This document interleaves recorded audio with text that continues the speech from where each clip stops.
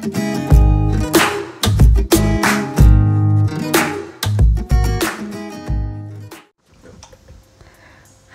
assalamualaikum semua. Jumpa lagi di channel saya. Kali ini saya punya singkong. Saya mau bikin cemilan yang enak. Uh, Saya kasih nama singkong gemes aja kali ya. Ini bahan-bahannya ada Ini sekitar 400 gram singkong. Ini kelapa parut seteng dari setengah butir kelapa Yang ukuran sedang ya. Ada gula pasir margarin 2 sendok makan sedikit garam. Ini ada e, eh, 150 gram tepung terigu dan yang ini e, tepung panir.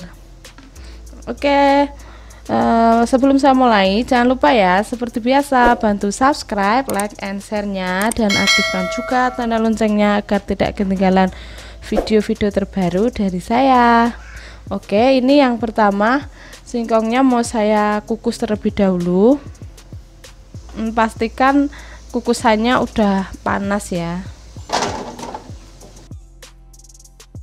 Oke ini nanti kalau e, singkongnya udah mau matang kira-kira kurang lebih eh, 5 menit ini nanti saya mau ikut kukus juga biar nggak gampang basi ini kelapanya. Ini tunggu kalau udah mau matang ya nanti dimasukkan juga. Oke ini udah mau empuk bentar lagi mau diangkat jadi ini saya mau masukkan juga. Ini kurang lebih 5 menit aja. Oke ini udah 5 menit ini saya angkat. Ini juga udah empuk. Ini mau saya haluskan. Oke ini serat-seratnya diambilin ya. Seperti ini. Ini saya mau langsung tumbuk sama gulanya biar gulanya hancur. Ini tadi gulanya 3 sendok makan penuh. Atau bisa disesuaikan seleranya. Kalau mau suka yang manis banget bisa ditambah ini garamnya.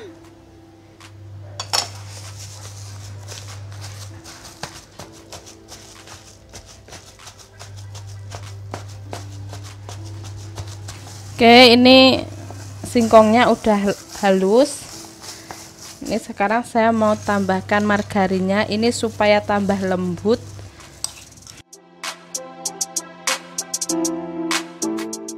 ini sebenarnya udah enak sih gini aja tapi ini biar lebih lembut lagi dan lebih enak lagi.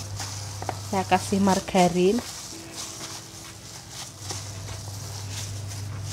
Ini udah kalis udah bagus. Ini udah enak banget sebenarnya. Kelapanya masukkan. Ini lebih banyak kelapanya jadi enak.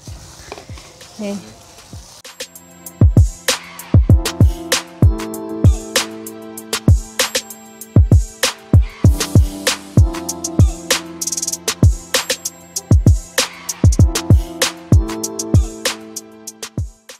ini sebenarnya udah enak banget dimakan seperti ini udah seperti geduk tapi karena sekarang saya mau bikin inovasi baru jadi saya kasih nama singkong gemes biar anak-anak tambah gemes makannya dan tambah banyak. Oke ini udah enak banget. Oke ini sekarang saya mau bentuk terserah sih bentuknya mau seperti apa cuman saya mau bentuk bulat agak pipih aja.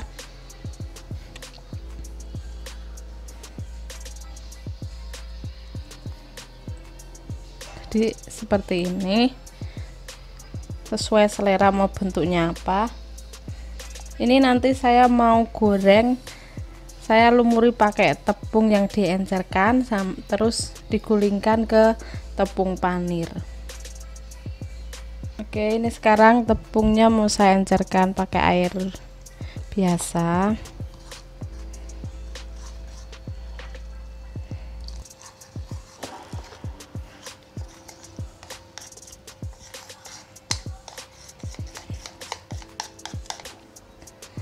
Oke ini mau saya celupkan sini dulu baru digulingkan ke tepung panirnya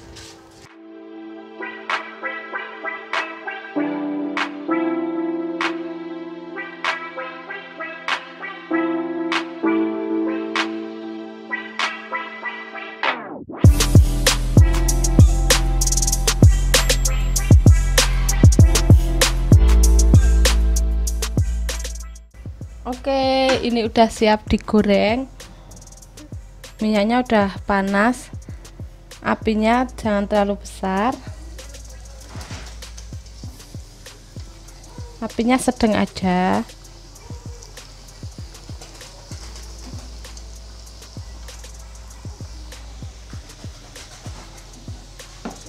Oke, ini udah kuning seperti ini. Ini udah mateng. Ini luarnya crispy tapi dalamnya lembut dan kerasa banget kelapanya. Oke, ini singkong gemesnya udah jadi udah siap dinikmati sama teh hangat ya ini enak sekali ini dalamnya seperti ini Oke, ini serat-seratnya kelapa terasa banget. Ini bikinnya sangat mudah dan eh, saya yakin semuanya pasti suka. Selamat mencoba ya. Sampai jumpa lagi di video-video saya selanjutnya. Bye bye.